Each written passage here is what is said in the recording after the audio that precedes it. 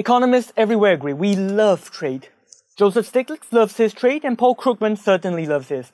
Economists love it so much that we are willing to get date trade, get hitched, and have little free trade babies.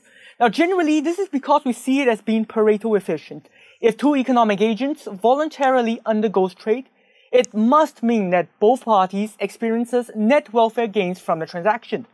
Trade allows for such Pareto improvements, but it will be hard to see why without understanding first the principles of both comparative and absolute advantage. Fundamentally, free trade exploits Adam Smith's theory of specialization, which is introduced with his pin factory. Now, I alone will find it very hard to make more than 10 pins a day, but if I hire some workers, one of which straightens the metal, another pounds the head flat, and another sharpens the tip, we can make hundreds of these pins, but only if each worker specializes in one particular task. Likewise, at the international levels, certain countries may have factors that allow them to make certain goods at a lower opportunity cost. China and Vietnam have cheap non-unionized labor, so they enjoy a cost advantage when it comes to making manufactures like toys, gowns, or even pins.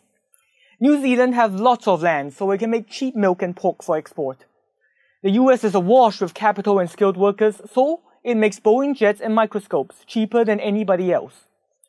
Now at the H2 level, how either AA or CA arise is not important. At the H3 level, however, you will learn that these can be due to different factor endowments, explained via the Heckscher-Ohlin theorem, or it can be due to Michael Porter's theory of competitive advantage. For example, Singapore doesn't have oil fields, but its highly trained university graduates enable to make cheap oil rigs.